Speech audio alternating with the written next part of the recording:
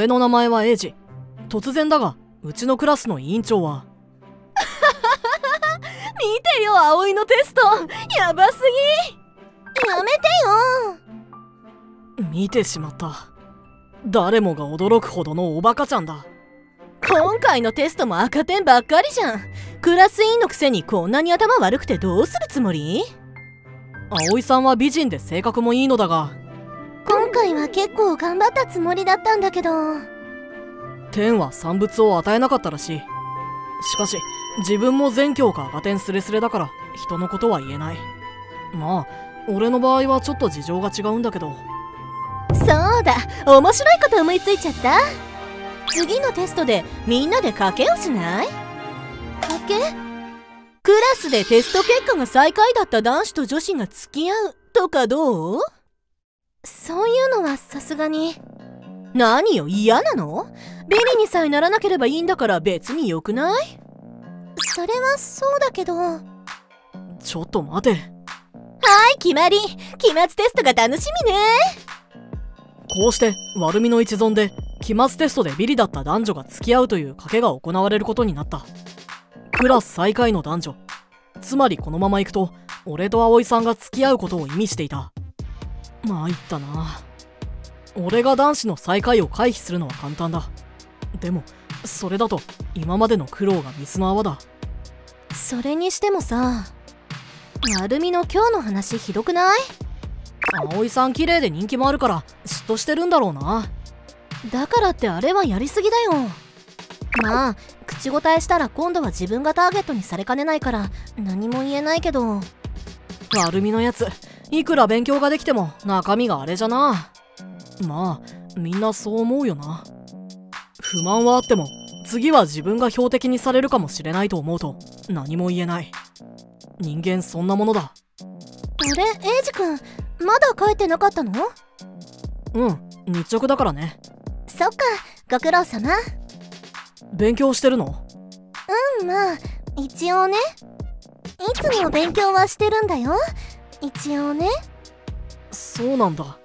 勉強しててあれなのか。このままだとエイジ君と私が付き合うことになっちゃうかもね。そうだろうね。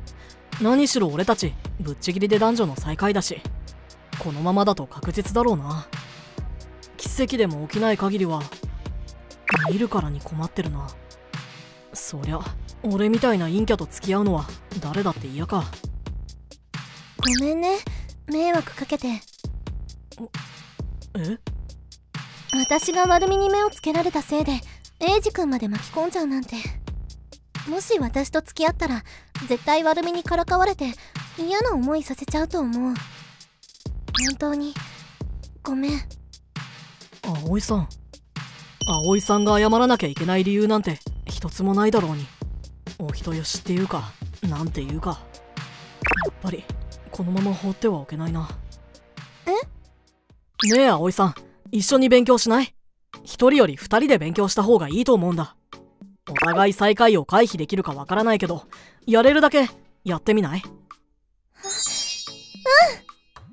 俺が男子の最下位を取るのは揺るがない。でもせめて葵さんが女子の最下位を回避できれば俺と付き合うことにはならないこうして翌日の放課後から俺と葵さんの勉強会がスタートした。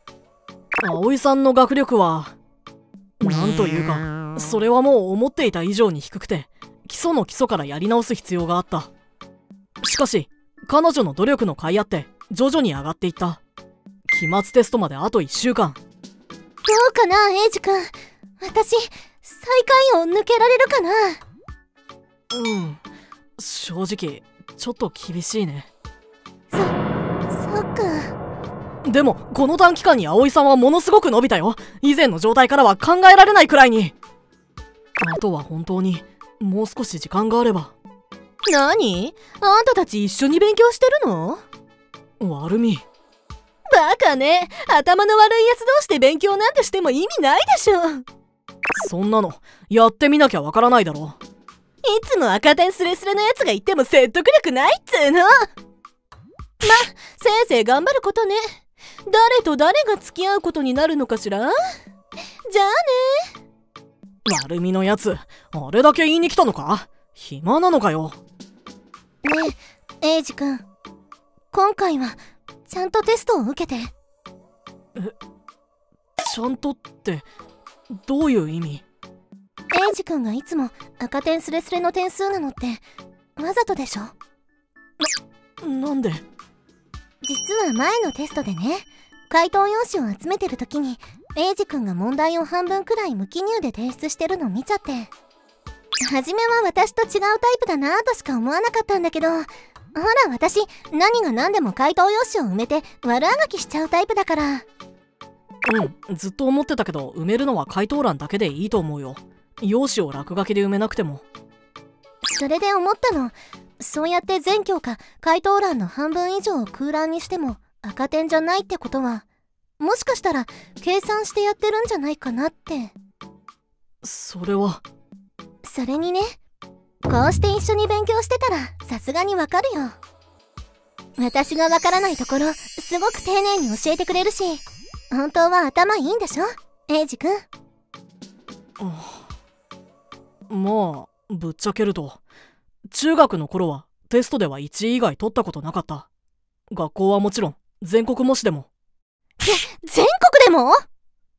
学校始まって以来の天才とか言われて最初は気分良かったけどどんどん周りの大人たちの期待が重く感じるようになっていった。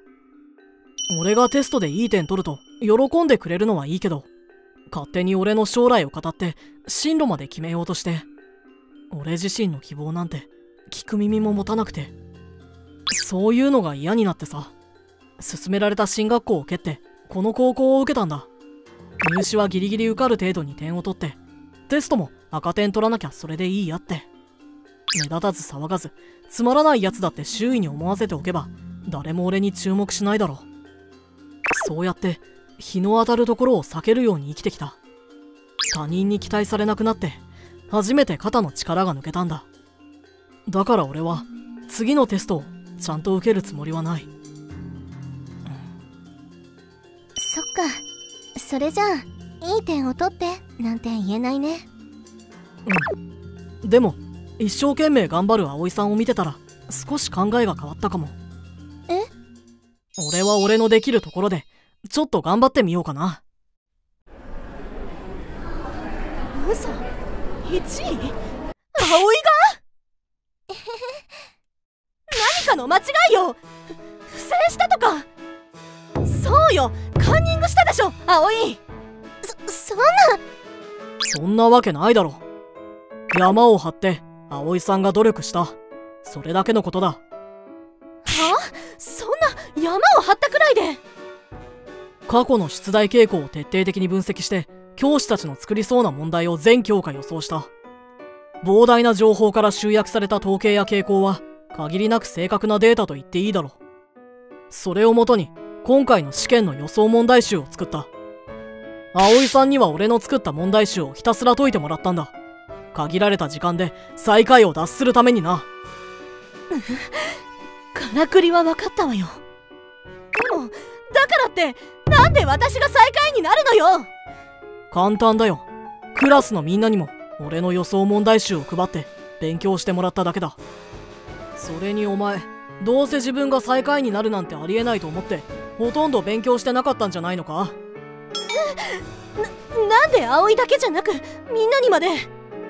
いい加減気づけよ。お前はクラスを仕切ってるリーダーのつもりでいたんだろうけどみんなお前の横暴さにへきへきしてたんだよ。そうだそうだ。